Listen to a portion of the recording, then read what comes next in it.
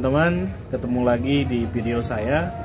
Video yang sekarang ini saya akan bercerita sedikit tentang uh, pesantren, dunia pesantren. Seperti yang kita tahu, teman-teman juga yakin sudah banyak yang mengetahui hal ini bahwa secara garis besar dunia pesantren di era sekarang itu digolongkan dalam dua, yaitu ada pesantren salafiyah atau juga yang disebut dengan pesantren tradisional dan ada juga yang disebut dengan pesantren halafiyah atau pesantren modern.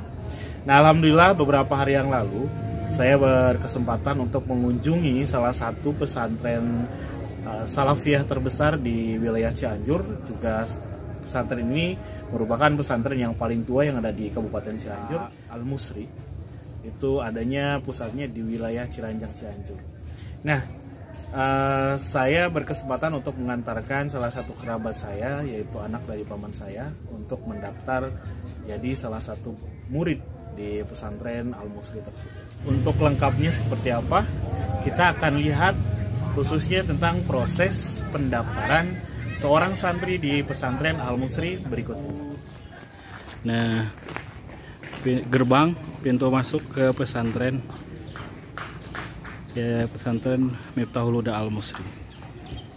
Itu itu ada masjid utama sampai ke sananya lebih luas lagi di dalamnya fasilitas-fasilitas yang lainnya juga banyak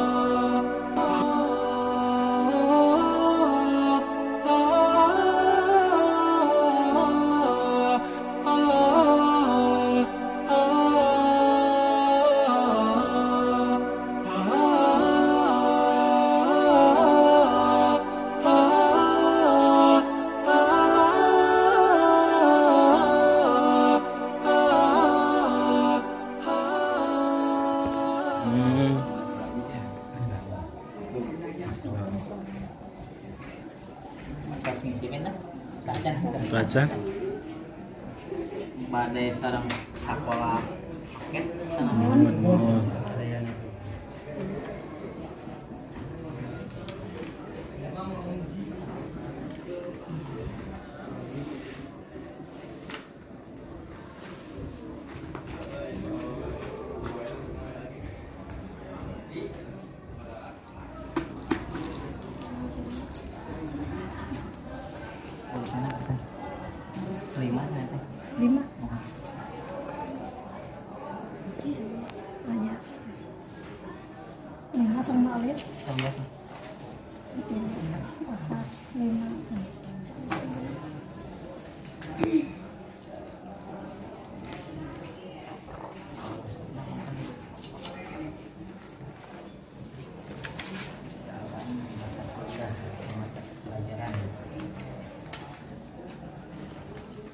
Iya untuk kalian baca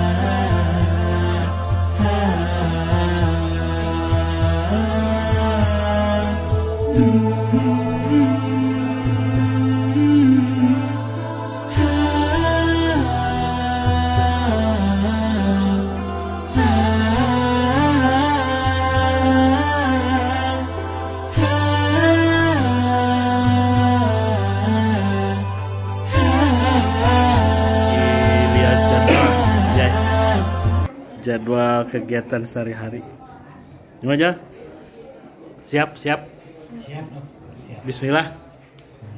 La haula.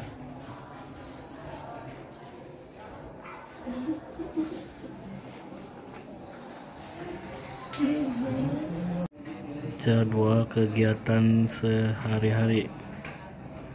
Mulai dari sholat subuh sampai jam 11 malam pengajian kitab kuning.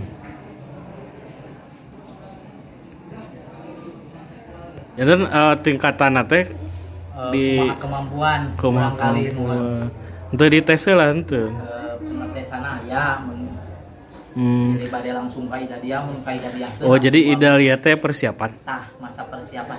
Persiapan eh, untuk kelas di pesantren mohonnya hari tingkat ya mah sekolah umum mah nu kayak non, paket nama bebas. Ada di ida dia ge aya anu eh, sakola nanti lulus SMP hmm, jadi murang kali ieu mah rawaseun mah di ida gitu jadi Persiapan eh, nilainya. mun. Ya rawaseun baretah gitu kan Nah, jadi dasarnya kengeng lah sebelum masuk ke tingkatan lebih iya meren lebih tinggi gitu tidak sana nyamang gawe atuh kan jalan ayeuna ka mana? Eh, ini mah paminten eh, kabumi dewan. Dewan. Kangol. sadayana sajuta tilu ratus opat lima atau termasuk lemari seragaman. Eh, tuang sabulaneun mainten tinareng jas alma mater seragaman. Juga sajuta tilu ratus opat lima. Eh, satu acan termasuk eh, pembayaran sekolah. Pendaftaran sekolah seratus ribu. Hmm, jadi jadi sajuta opat ratus opat puluh lima. Rumah kepala dewan. Pendaftaran belum selesai. Sekarang harus ikrar. Ada pos kesehatannya juga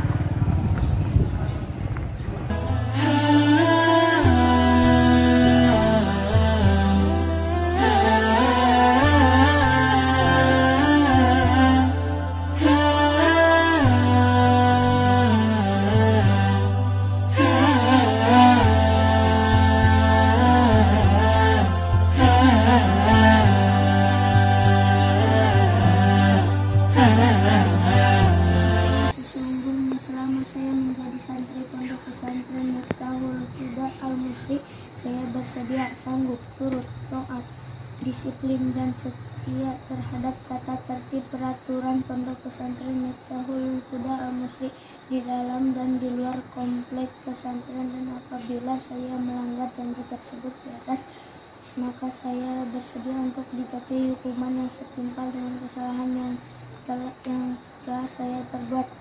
Maka saya berjanji selama 40 hari pertama masuk menjadi santri Miftahul Huda al Musri tidak akan keluar dari komplek apalagi pulang tiga setelah tamat di, di Rasatul kuliah, kuliah si- siap dimungkinkan di mana saja demi mengembangkan dan mengamalkan ilmu.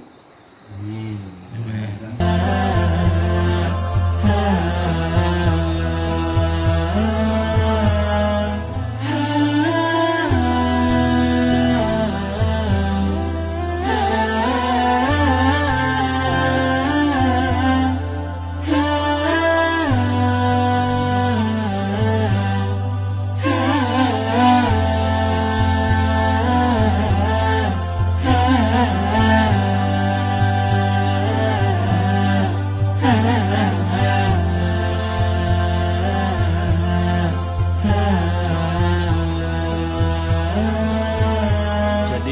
perjalanan ke kamar atau ke kobongnya itu lumayan jauh.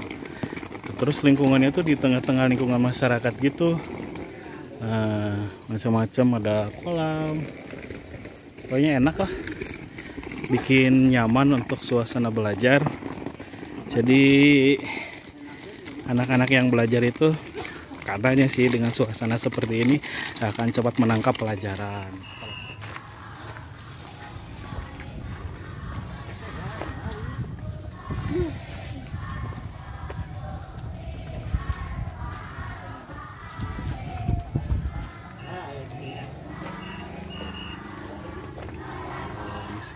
Untuk anak-anak pemula belajarnya juga ada masjidnya khusus teman-teman. Ini lingkungan kobongnya oke. Untuk anak-anak pemula ya. Tuh, masjidnya untuk belajar di situ. Oh inilah suasana kobong atau kamarnya para santri. Baru. Mm-mm.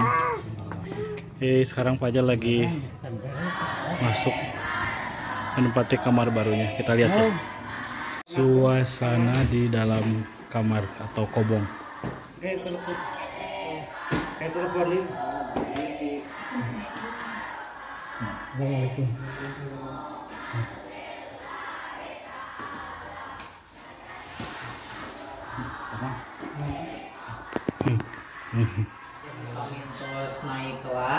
pindah ke itu Ah, masjid tadi. pemula ini Jadi pemula mah masjidnya benten. pemula mah di dia we jadi kaos di dia rupa di dia Hmm. tuang mah ku ketua umum punten sadayana Oh jadi mau tuang tadi dia sadaya. Ah, Ah.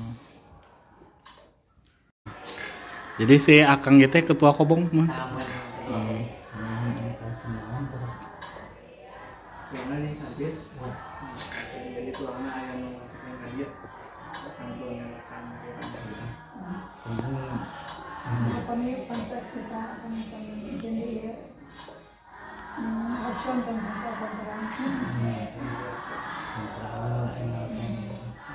Berarti kegiatan efektif ngiringan Eh, biasa Pengajaran? eh, langsung oke panginten eh, sore biasa ngiringan gitu.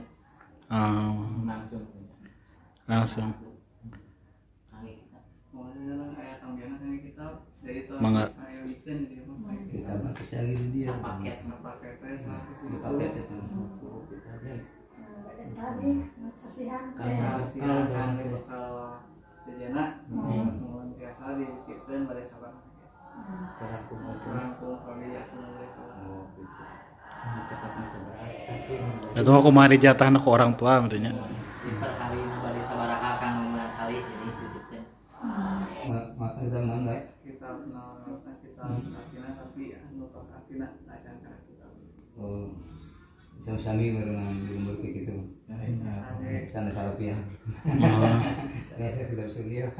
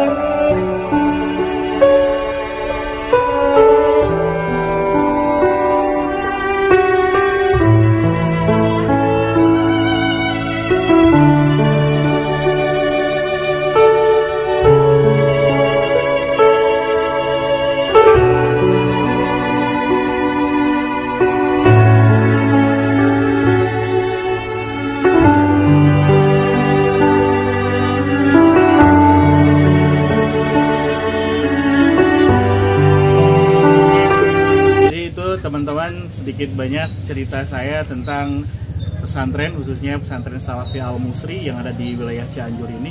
Mungkin buat teman-teman yang mau menitipkan sanak keluarganya untuk mencari pendidikan agama khususnya di pesantren Salafi seperti Al Musri ini silakan untuk datang. Ya, itulah eh, yang bisa saya share sama teman-teman. Mohon maaf kalau banyak kekurangan karena pengetahuan saya tentang pesantren salafi dan sebagainya mungkin hanya sejauh ini jadi saya nunggu saran dari teman-teman kritik dan sebagainya boleh di bawah situ.